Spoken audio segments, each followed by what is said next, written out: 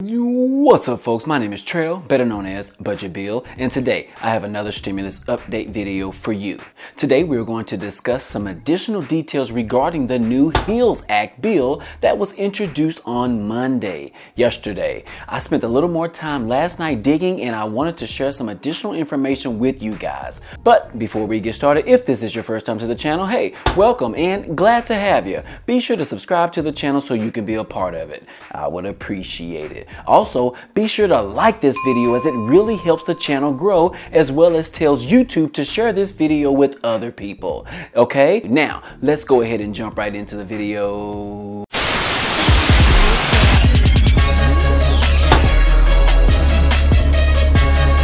What's up guys and thanks for sticking around. So in researching more information regarding the new HEALS Act that was released on Monday yesterday and it appears that the second big fat stimulus check of $1,200 has officially been confirmed. This is going to be available for the same group of people as the first big fat stimulus check was. So if you receive the first stimulus check, you can expect to receive the second stimulus check. As far as the eligibility requirements, they are using the same thresholds as the CARES Act back in March of 2020, which was if you are an individual making under $75,000 per year or as a couple making under $150,000 per year. So if you meet those salary thresholds, you are eligible to receive a big fat stimulus check on the second round of stimulus checks. Now, if you still have not filed your 2019 tax return, the income thresholds will be based off of your 2018 tax return.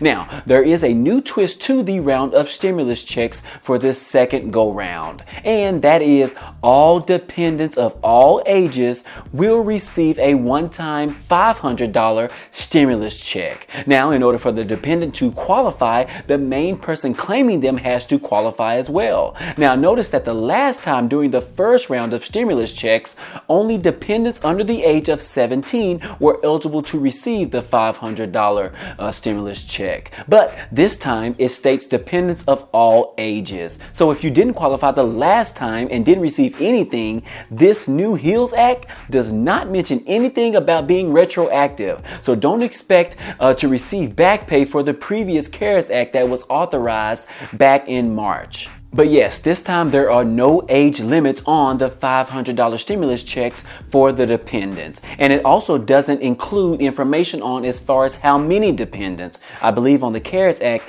they wanted that it could be up to three dependents, but on this HEALS Act, they did not include on the amount of dependents. So we'll have to see on that information going forward. Now, for those of you who are on SSI, SSDI, or Railroad Retirement Benefits, as well as any type of Veterans Affairs beneficiaries, those particularly are eligible for a second $1,200 Big Fat Stimulus check. Those taxpayers should receive their payments automatically. The Treasury Department will be working directly with those specific benefits to authorize and make sure you receive your second Big Fat Stimulus check. I know I have a lot of people that watch this channel and they've been asking me questions in relation to them being on SSI or SSDI and whether they will be receiving the next stimulus check. And it has been confirmed that you will be included in receiving the next big fat stimulus check as well. So that's definitely great news for you guys. And then for the unemployment benefits that are due to expire at the end of July. Previously from the CARES Act, those who were unemployed were receiving an additional $600 federal boost on top of the standard weekly pay. Well, that expires at the end of July in which most states have already stopped paying the additional $600 boost from the Federal Reserve. Well, it appears that the HEALS Act drops it from $600 to $200 per week for everyone receiving unemployment pay. They are wanting this $200 boost to pick up where the $600 boost left off, which was expiring on July 31st. But since most states have already stopped paying that additional boost, this bill might become retroactive and replace those missing payments where the states have stopped paying them. So the $200 per week boost will go through the end of September. Then after that, the Fed is willing to step in and contribute a maximum of $500 $500 per week.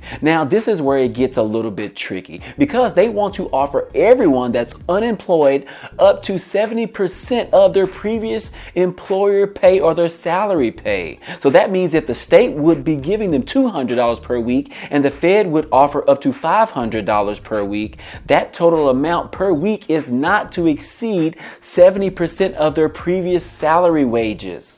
And that particular setup is only good through the month of October. So those are some additional details of the HEALS Act as we dig deeper into the proposed bill as it currently stands. Now keep in mind that this is the introduction to the HEALS Act, so it's more like the beginning stages from the Republicans' perspective. So things will obviously get better over time after the negotiations are in full throttle. Even Mitch McConnell reiterated today that this is only the starting place. So I feel like they have a lot more to go as far as changes being made to the HEALS Act once they get the negotiations with the Democrats as well as the Republicans and trying to get a overall bipartisan bill that is ready to be sent over to Mr. Trumpy to be signed and put into legislation. So yes, guys, this is very exciting and we look forward to see what's in store for us going forward and hope they can get these things done by the end of the month and hopefully we can look forward to receiving the next or the second big fat stimulus check in early August. But we'll keep our fingers crossed in the meantime.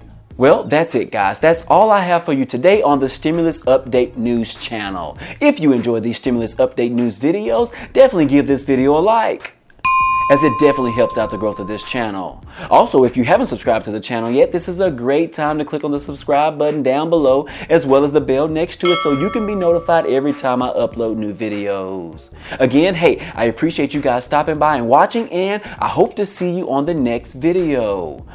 Peace.